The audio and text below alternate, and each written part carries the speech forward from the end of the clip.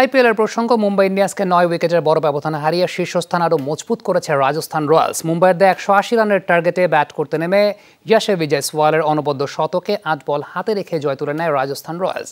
Toss জিতে bat করতে নেমে শুরুতেই খেই হারায় মুম্বাই ইন্ডিয়ান্স। রাজস্থানের নিয়ন্ত্রিত বোলিংয়ে বান্ন রানে চার উইকেট হারিয়ে বসে হার্দিক পান্ডিয়ার দল। পরে পঞ্চম উইকেটে তিলক ভার্মা, নেহাল ওয়াধেরা নিরানব্বই রানের জুটিতে প্রাথমিক ধাক্কা সামাল দেয় মুম্বাই ইন্ডিয়ান্স। তিলক পঁয়ষট্টি রান করলেও নেহাল এক রানের জন্য মিস করেন হাফ সেঞ্চুরি।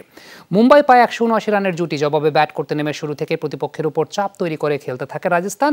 ছয় ওভারে একষট্টি রান তোলার পর ম্যাচে হানা দেয় বৃষ্টি। পরে খেলা আবার শুরু হলে জস পাতলারকে ফিরিয়ে চুয়াত্তর রানের উদ্বোধনী জুটি ভাঙেন পিয়ুষ চাওলা। তবে জেসওয়ালের হার নামানা শতকে নয় উইকেটের বড় জয় নিয়ে মাঠ ছাড়ে রাজস্থান রয়্যালস।